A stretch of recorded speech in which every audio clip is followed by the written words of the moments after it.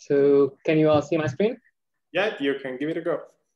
All right. So um, thank you very much for the organizers putting together very interesting program. And so um, today I'm going to talk about um, statistical perspective. So I'm uh, in the Department of uh, Statistics, and um, I'll talk about a statistical perspective on understanding generalization and uh, test error. And so this is joint work with uh, Licong Lin, who is a really exceptionally talented uh, starting PhD student at uh, Berkeley. Uh. all right, so I, uh, looks like I shared the wrong slide. I apologize. I have a longer version of the talk uh, that I gave uh, earlier. I need to share the short version of the slides. I apologize. There's a subfolder.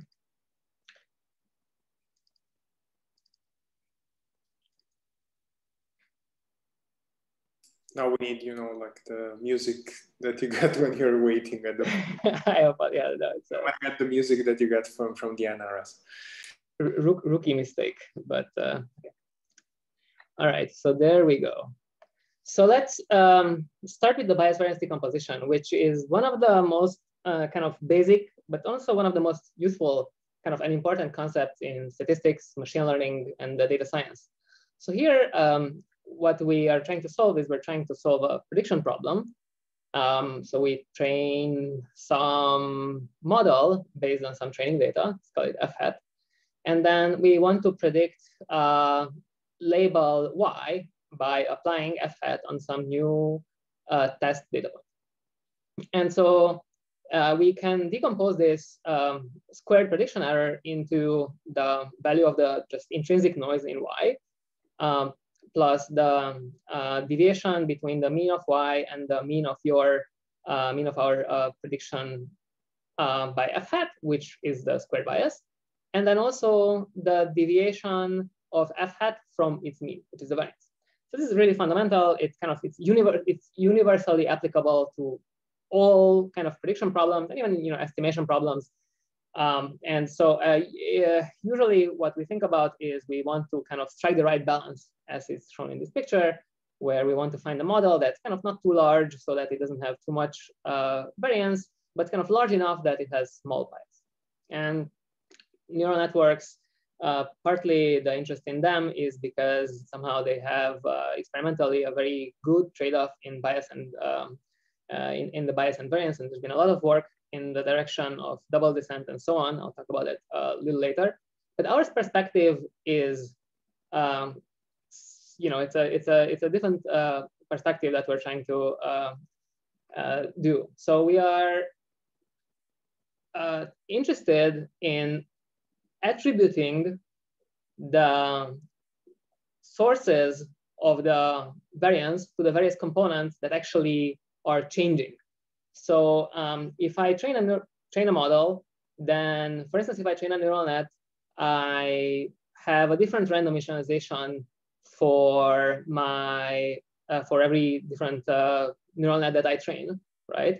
And uh, when I have uh, new data that comes in in my training, then I also have variability due to the, these input features, and I also have label noise.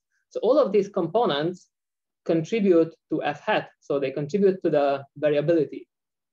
And it also, uh, there are other components like the randomness in the optimization algorithm. Suppose I use some standard stochastic optimization. For instance, I choose the mini batches randomly. I, uh, those choices uh, affect the randomness in f hat. So they affect the variance. And our approach is, so our kind of question is how can we um, basically in a principled way make attributions of these different kind of components to the uh, to the variability um, in, an, in a kind of uh, unequivocal way. And so it, it, turns out there is a, a classical idea in statistics called uh, ANOVA, the analysis of variance, which I'll explain. It's a kind of at least 100 years old idea. And that's what we propose uh, to use uh, here. So I'll explain how, um, how that goes next.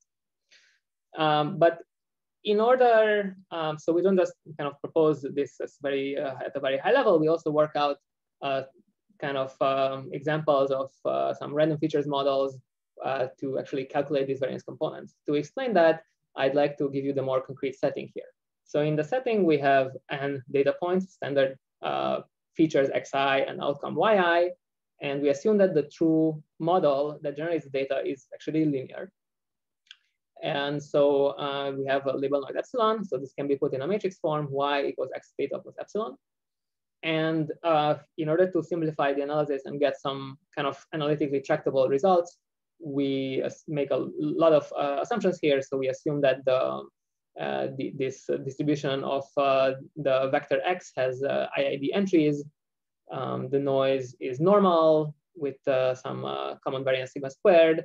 And we also assume that the parameter theta is random, um, kind of uh, normalized so that it has uh, expected norm uh, alpha squared. So alpha squared is kind of the signal strength.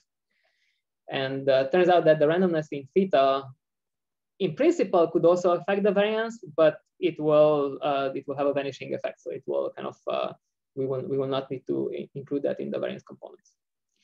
And then we will fit a very simple linear random features model um, I will not have time to talk about the two, uh, the, the nonlinear uh, random features model that we fit, but in the linear case, very simple, Wx transpose beta, this is the model, and the weight, the weight matrix uh, W is an uh, uniformly orthogonal uh, matrix. So, uh, so it's a uniformly orthogonal random matrix, and so uh, this is these are the these are the this is the data model. This is the um, kind of uh, prediction model. And how do we train it? We just train it uh, in a in with something that's analytically kind of uh, tractable, which is an L2 loss, so mean squared error, plus a ridge regularization parameter. And then we effectively get an explicit predictor that has this form. It's just a ridge regression of y on um, x times W transpose. So um, it's kind of all uh, very explicit here. And uh, in red, you can see the sources that I'm going to study. So when I train this F hat, this could be, uh, maybe this should be F hat here. So it depends on X. Of course, my predictor depends on the training data. The F hat also depends on the epsilon, right? It implicitly depends on the epsilon because it depends on uh, uh through, through Y, right? And the f hat also depends on what initialization I chose here. So it depends on all three of these randomly chosen components. And then we want to understand this dependence. We want to decompose the dependence and variability variance um, that is kept that is uh, in F into these three components. So uh, just uh, repeating, uh, this is the uh, this is the bias uh, variance decomposition. And um, as I said, we would like to understand what are the contributions. So a key um, kind of inspiration for us was uh, this nice work from um, um, d'Ascoli and the collaborators last year that um, looked at a very similar model with uh, few, few technical uh, differences, but very similar model. And they decomposed the variance in the following order. So first take conditional expectation over X and W, W and X, and then take conditional expectation over X. So this is the kind of specifically chosen order. And by the Tower property of uh, conditional expectation, you can you know, write this, this sum in this way. So uh, this is one of the things that really got us thinking of whether you know, what is the what is the meaning of these terms and what is the interpretation, and whether there is some uh, something canonical, more canonical to do here. And so, uh, as uh, you know, this is the statistical idea of the ANOVA that uh, turns out is kind of an answer for this. So here, uh, I'll explain what the ANOVA is. So let's start, let's give uh, these quantities some short, even more shorthand names. So X are the samples, so I'll call it S. W is the initialization, so I'll call it I, and epsilon is the label noise, or you know the outcome noise, so I call it L, so it's SIL. And so this variance can be written as a sum of these seven terms, VS, VL, VI, SL, SI, LI, pairwise interactions, and the triple. And they are defined the following way. So um, I take f hat, and for every index A that's in this uh, you know set, I compute the conditional expectation of f hat conditional on that quantity, let's say conditional x, w, or epsilon. And so that is now a quantity that only depends on that A, whatever that A is, right? And so I can take its variance. So that is called the VA, the um, that is called the marginal effect or main effect of varying A alone. So it says, you know, on average, if I just change A, what is the variance of, what is the um, effect of varying A just by itself marginally on F hat. Then there are the interaction terms, which are defined very similarly, where you take the conditional expectation with respect to A and B, and then you subtract the marginal uh, marginal effects. Turns out these are all non-negative. Very similarly, you uh, define the three-way interaction as well. So VAB is called the second order interaction effect between A and B, and ABC is the third order interaction effect. So of course, this is defined for any kind of uh, number of um, you know, uh, any number, not just three, and it's uh, defined very generally for any random variables. Uh, we, um, and it's a kind of, you know, really well-developed classical tool in statistics. So we applied it here for a particular kind of uh, machine learning uh, problem. And so uh, to give you the results, we looked at uh, asymptotic regime, which has been kind of present in a few uh, talks in this in this conference. So letting the dimension d grow to infinity, letting the um, number of parameters p go to infinity uh, proportionally. So p by d is a sort of parameterization level. How many parameters uh, do uh, do I have? So p, p is the number of um, random features in the intermediary intermediate layer and then letting uh, d by n uh, also tend to uh, a constant, d is the data dimension. And there's a some quantities that we need to express our result. Gamma is just pi times delta, and then theta j's are the so-called resolvent moments. So this is um, um, so we have this kind of famous distribution, the Marchenko-Pastur distribution with parameter uh, uh, aspect ratio gamma, and then theta j are just the expectations of 1 over x plus lambda 2 power j, uh, and we need only j equals 1 and 2. So these are just some uh, functions that we, uh, there are actually explicit formulas for them. For uh, actually j equals 1 is just the Stieltjes transform, it doesn't matter. And um, then, so these are, these are something that we need just to state the result, which you'll see in the next slide. And there's also something uh, kind of conceptual. There's this lambda uh, the regularization parameter, and there's an effective regularization parameter lambda tilde that's slightly larger due to additional kind of randomness that is induced by the random uh, uh feature projection step. So it's a slightly higher regularization uh, parameter.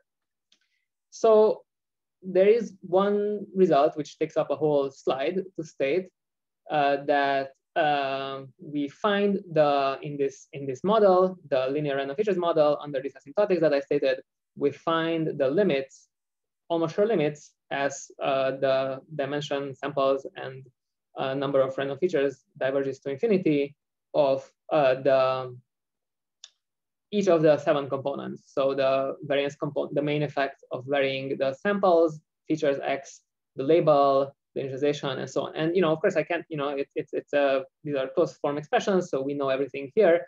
But you know, it's not really possible to remember these.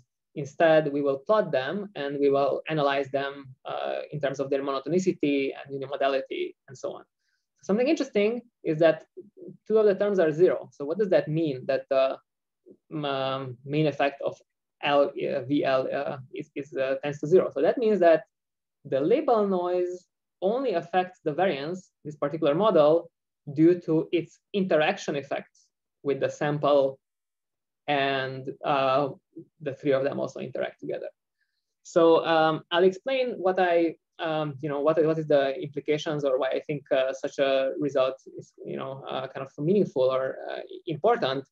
First, if you look at some plots, here's a plot that uh, shows the bias uh, and these, these non-zero components in a kind of particular choice of uh, particular choice of signal strength, reasonable signal strength, noise level, fixed regularization parameter as a function of the data, kind of uh, um, uh, so as a function of d as a function of the dimension, effectively, if you wish. So what you can see, um, there's a large, there's this large literature on random, uh, well, um, on, on double descent, and I'll have some uh, references uh, later on. You see an increase in the overall mean squared error and then a sort of decrease. But more interestingly, you see that in the variance component, so um, uh, not the not the blue, everything else, in the, in the variance components, the largest term is this interaction effect.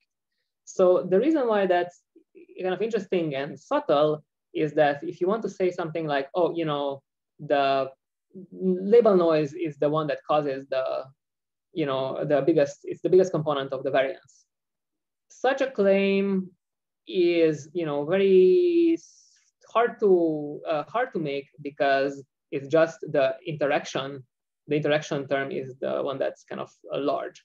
So you cannot uh, put the put the uh, it's not just that the you know these marginal effects are large, but in, in the interaction terms. So I think to me, at least, that's something that's uh, that was quite uh, quite surprising, and uh, still, you know, I'm puzzled by it every time that I think about it. And so another thing, we can make a lot of plots. We can show, we can display how these variance components behave as a function of the parametrization level uh, you know, the number of uh, inner um, uh, inner neurons and as a function of the data dimension. And you know, this is how they look.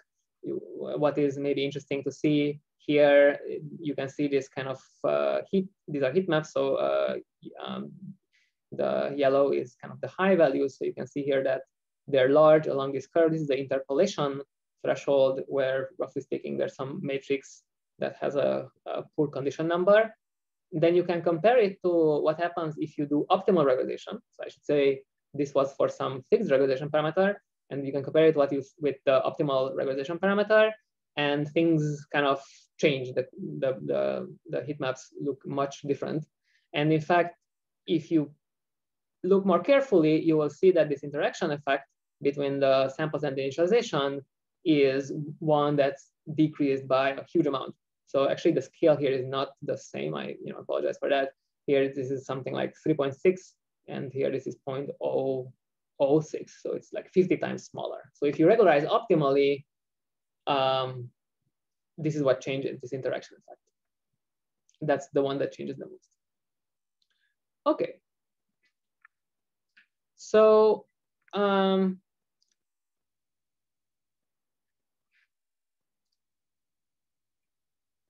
Um, so in addition, what I'd like to mention is that the order in which we do the decomposition has a large effect. So um, remember that you know our one of our inspirations was the nice work from uh, uh, d'Ascoli and collaborators.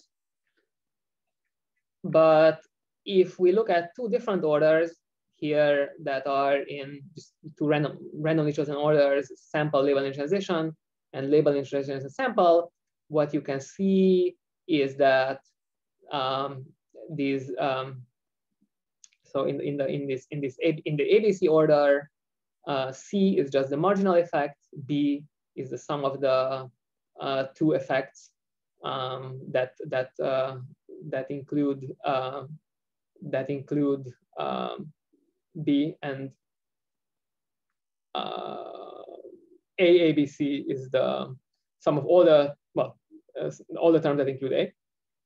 Then what you can see is that, for instance, if I look at the value of um, maybe sigma S here, sigma S is really large, but sigma S here in the different order is small.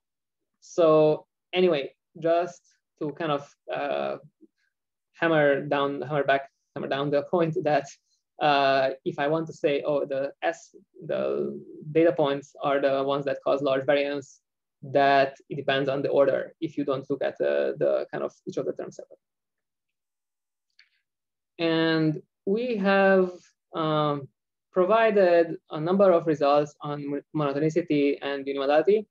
How many minutes do I have? Mm, very little again. We're very little. Okay, drifting, so we're drifting, uh, drifting later, yeah. So in the interest of time, let me skip the monotonicity and unimodality. They are very interesting. Uh, we show uh, what I want to say is the with optimal, without optimal regularization and with optimal regularization, the monotonicity and unimodality behavior is really uh, different. There's a number of nice works that kind of inspired us, including by Preetum, Nakkiran, and collaborators who spoke earlier. And uh, we've done a quite thorough study uh, of this phenomenon in our paper a lot of related works here. Um, and uh, there are several talks at this workshop that considered related random features models by uh, Raffinetti, Misiakiewicz, uh, Benigni, and uh, Guerre-Belot. So I hope somewhat correct pronunciation. And I want to mention the most close related work, especially the one by Ben Adlam and Jeffrey Pennington, which was a parallel work to ours that kind of independently also derived ANOVA in a slightly different model. There's a neat uh, Twitter uh, post here that says, shows how 100 years old statistical models can provide useful frameworks to study modern machine learning. So that's kind of uh, our, uh, our contribution. In terms of the proofs, we use some deterministic equivalents from random matrix theory. So that's just uh, one, one uh, line about the proofs.